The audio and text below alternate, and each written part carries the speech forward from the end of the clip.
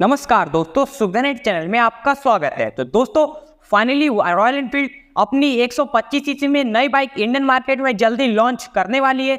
ये हंटर 125 ने के नाम से इंडियन मार्केट में लॉन्च होगा और ये रॉयल एनफील्ड की पहली ऐसी पेशकश है जो रॉयल एनफील्ड 125 सीसी में अपनी बाइक लॉन्च करेगी। नहीं तो इससे पहले आपको रॉयल एनफील्ड में 125 सीसी में कोई भी बाइक देखने को नहीं मिलती थी। आखिर इसकी वजह क्या है कि रॉयल एनफील्ड को 125 सीसी में उतरना पड़ रहा है। और साथ ही में हम आपको बताएँगे इस बाइक के क्या क्या स्पेसिफिकेशन रहने वाले हैं। इस बाइक का प्राइस कितना रखा जाएगा? क्या आम आवाम इस बाइक को खरीद सकती है या नहीं खरीद सकती है?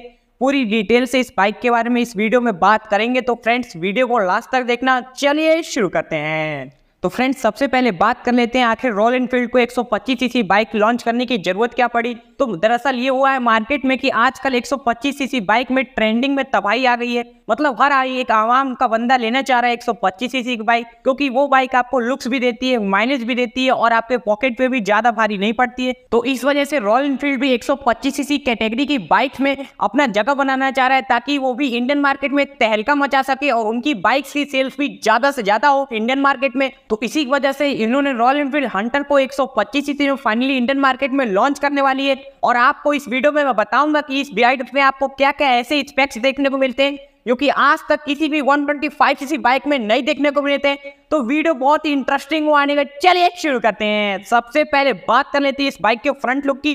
तो इसमें आपको फ्रंट में रेट्रो लुकिंग सर्कुलर शेप का हेडलाइट देखने को मिलता है, जिसमें आपको डुअल प्रोजेक्टर एलईडी सेटअप दिया जाता है, जो कि काफ़ी ज़्यादा जानदार लाइटिंग प्रोवाइड करता है। वही इस बाइक में आपको स्क्वायरिश शेप का एलईडी टर्न्स इंडिकेटर देखने को मिलेंगे। साथ ही में इसके टेन लाइट की बात करें तो यहाँ पर आपको फुली एलईडी टेन लैम्प देखने को मिलेगा, जो कि इस बाइक को चार चाँद लगा देगा। वही बात कर ले इस बाइक में मीटर कंसोल की तो हंड्रेड थ्री में आपको डिजिटल मीटर कंसोल दिया जाता था।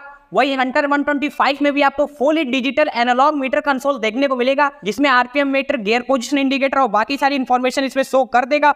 वही बात कर ले इस बाइक की ब्रेकिंग सिस्टम से लेकर तो इस बाइक में आपको फ्रंट में सिंगल डिस्क ब्रेक के साथ सिंगल चैनल एबीएस का ऑप्शन दिया जाएगा। वही बाइक के फ्रंट में आपको 90 बाई 90 सेक्शन का ट्यूबलेस टायर दिया जाएगा। वही रेयर में बात करें तो 120 सेक्शन का मोटा व्हाइट टायर देखने को मिलेगा, जिससे आपकी रोड की ग्रिप काफ़ी ज़्यादा शानदार हो जाएगी। और हेंटर तो अपने लुक्स और प्रेजेंस के हिसाब से जाना जाता था। उसी हिसाब से हंटर 125 को भी एकदम दमदार लुक दिया जाएगा, जिस वजह से ये मार्केट में ज़्यादा से ज़्यादा भौकाल टाइट करेगा 125 सीसी बाइक में और साथ ही बाइक में सेफ्टी पॉइंट ऑफ़ व्यू से इंजन कट ऑफ़ सेंसर दिया जाएगा, जिससे अगर आपका स्टैंड लगा रह जाता है तो बाइक इंडिकेट करेगी और ऑटोमेटिकली कट ऑफ़ हो जाएगी। फ्रेंड्स फाइनली बात कर लेते उस चीज़ का जिसका आप बेसब्री से इंतज़ार कर रहे थे, वो तो इस बाइक की प्राइसिंग इस बाइक का क्या ज़बरदस्त प्राइसिंग रखा गया मतलब मान गए रॉयल एनफील्ड को।